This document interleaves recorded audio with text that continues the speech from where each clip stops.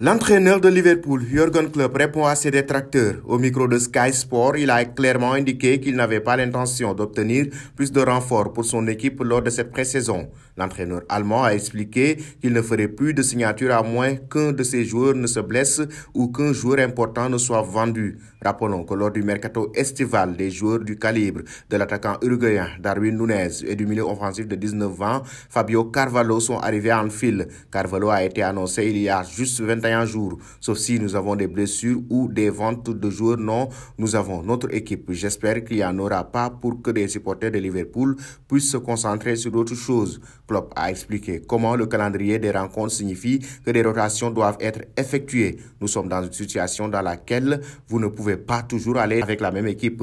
Vous avez besoin de sang frais et de jambes fraîches. City est dans une situation similaire à la nôtre et nous l'avons fait de la même manière. Au final, ils ont tous des joueurs de football fantastiques comme nous. C'est la question de savoir qui en profite le plus à ajouter Klopp. Tout le monde a la même chance. Nous essaierons de faire tout notre possible. L'objectif principal dans cette ligue est toujours et avant tout de se qualifier pour la Ligue des Champions, ce qui est déjà assez difficile. Lorsque vous atteignez cela et qu'il est encore temps de concourir pour le titre, vous le faites. Lorsque vous êtes qualifié pour cela 4, 5 ans de suite, les gens ne l'apprécieront peut-être plus, mais ça sera une lutte massive pour les places en Ligue des Champions.